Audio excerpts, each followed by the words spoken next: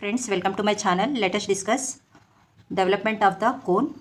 Here the given data is a cone of base diameter 50 mm and axis 60 mm is resting on its base on the HP. HP means horizontal plane, flush stop. Draw the development of its lateral surface. Okay, here cone has given. So for this cone, I am taking this model. Okay, and the base is in the form of circle. We can call this is the base and then this point is called apex. Here this base and apex are connected with the help of slant edges. These slant edges we can call it as generators. Okay. So number of generators will be there which are joining apex to base. So here how many generators will be there? Infinite number of generators will be there. Okay. Those are looking like slant edges. Now here the given data first write the given data. A cone base diameter is 50 mm this diameter is 50 mm or 5 centimeter. And axis is 60 mm axis means height of the cone. It is 6 centimeters. Okay?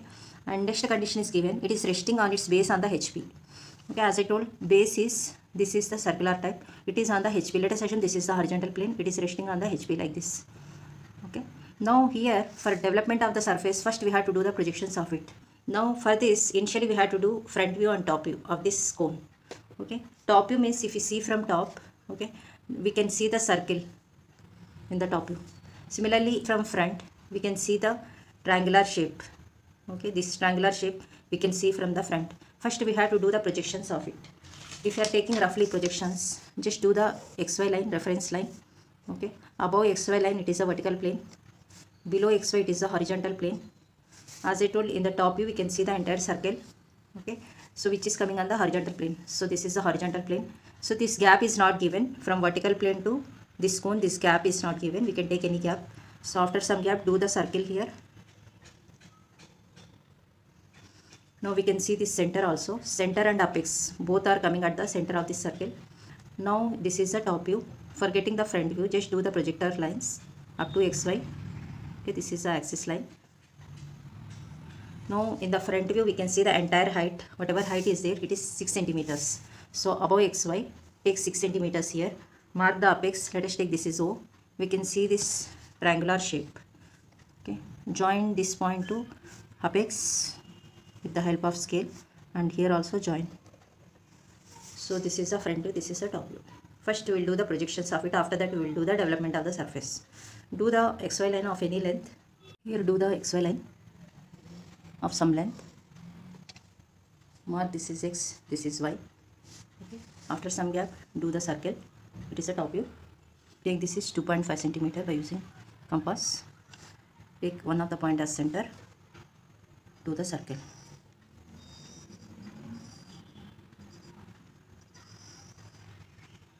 Here mark the center. I am taking this is O1 taking this is the reference. Do the horizontal diameter at the center. End points. Okay here I am taking this is A this is G point at A and G do the projectile lines. These projectile lines are 90 degrees to the XY line. Okay for getting the 90 degrees line I am using this protractor here this scale is coincide with this line and this angle is 90 at G do the projectile line. Similarly at A also do the projectile line extend this line. So mark these points here also. This a point is in the front view i am marking a dash. This point i am marking g dash. Okay do the axis line here. And extend this line axis line.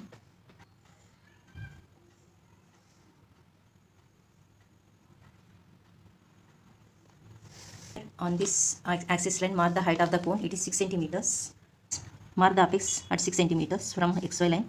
So this is the end point. I am taking this is o dash now join this apex to these two points for getting the slant edges.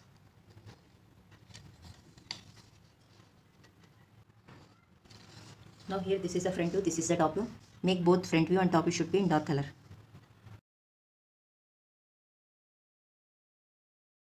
Here we got only two generators. For getting number of generators divide this circle into number of parts. Here i am taking dividing this circle into 12 equal divisions.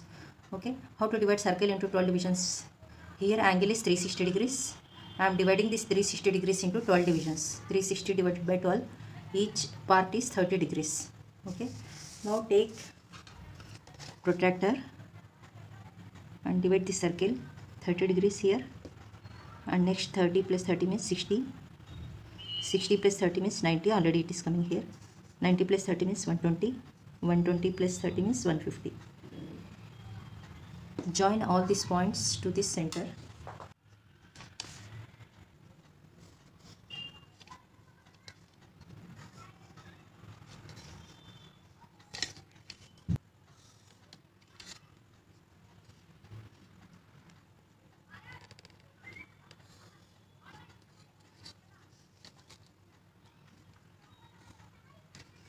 mark the intersection points start with a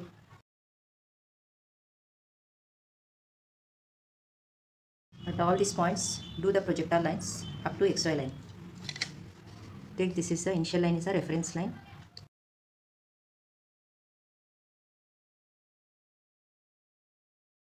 Here mark the intersection points.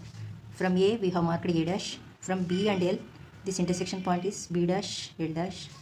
From C and K C dash K dash. Here from this line three points are passing d j and center of this. Okay d dash j dash and o1 dash. D dash j dash o1 dash. And uh, ei e dash i dash. Fh f dash h dash. So these are the points we have created on the circle. So we do the generator lines that is inclined lines and join all these points to the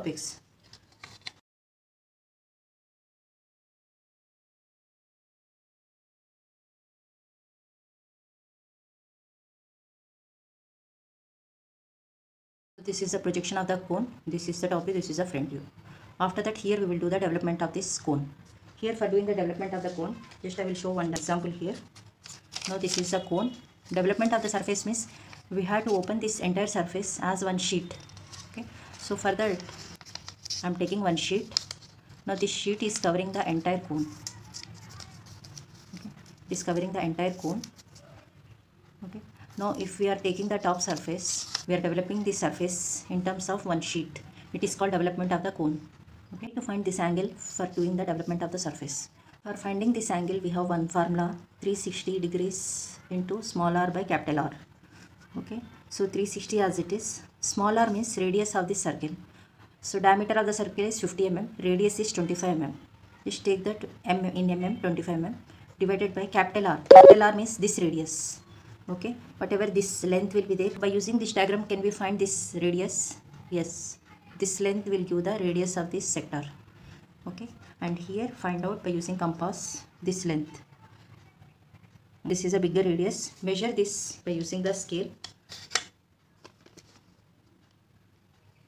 so we are getting it is 65 mm okay?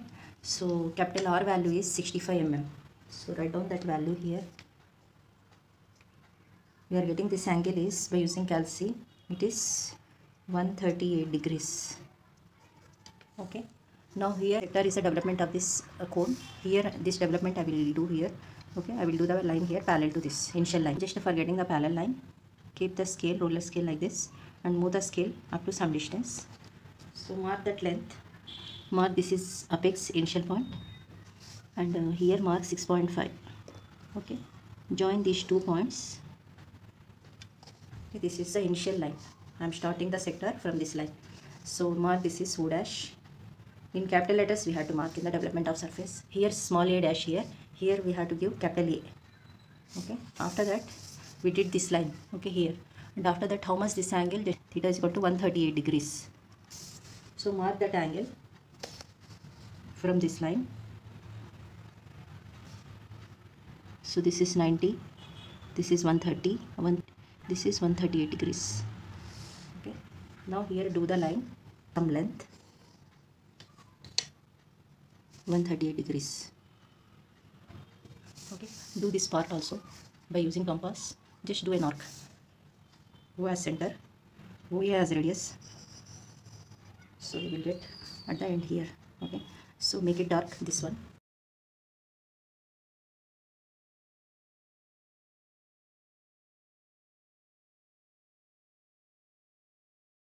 OA initial line and uh, next line last line are coincide with each other when we are folding like this on the cone same point A okay initial point and last point and uh, AOA is the sector. This angle is 138 degrees.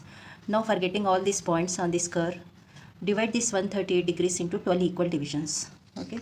Just now we did 138 degrees by 12 equal divisions we had to do. It is getting 11.5 degrees with the help of calci.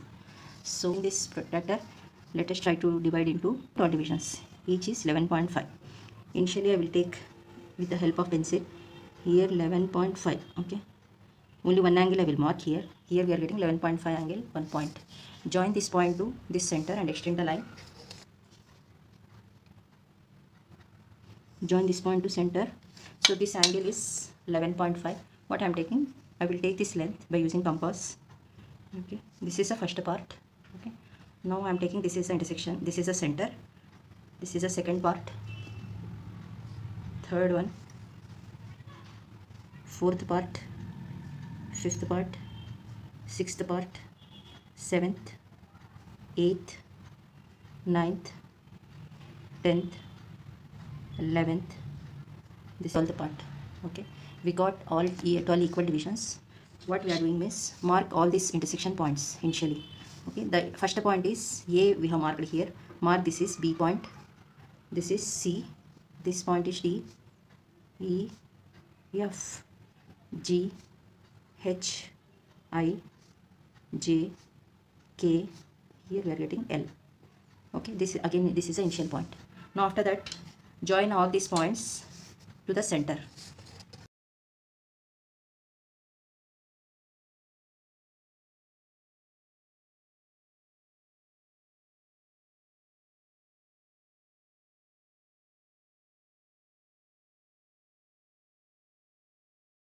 this is the development of this cone. Here always remember the both front view and top view should be in dark color compared to the projector lines okay? And here the other points we are creating on the surface those lines should be also in light color okay? And here also this generator also light color because we are creating these points on the given circle.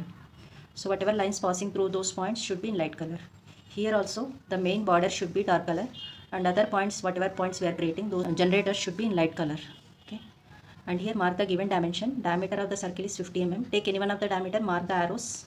Take 50 mm here. And height of the axis is 60 mm. And this angle is 138 degrees. Here give some gap and uh, take the parallel line to this. With the drafter scale we can fix the drafter scale here. We can move the scale and we can mark this length here. Video lectures of development of surfaces. I will give video link in description box. Please check it. Thank you for watching